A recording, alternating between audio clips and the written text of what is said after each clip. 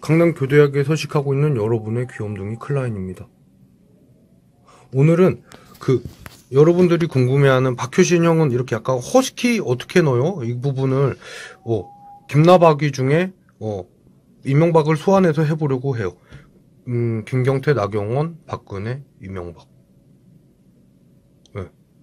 제가 말한 게 아니에요. 저희 집 고양이가 말했습니다. 안 되겠죠? 꼬치꼬치 따지지 마요. 꼬치꼬치는 여러분 다리 사이에 있어요. 이런 호랑이도 물어갈 개그, 그죠?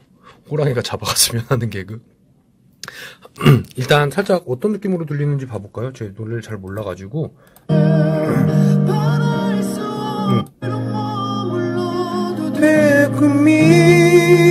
꿈이라면 바랄 수 없는 걸 바래도 바랄 수 없는 걸 이런 제가 이 노래를 어 이 노래 원곡과 좀 다르게 그냥 막 띄었다 붙였다 하면서 볼게요.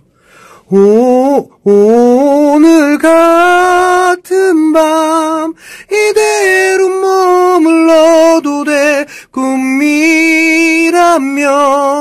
바랄 수 없는 걸 바래도 여기서 왜 바랄 이 부분입니다.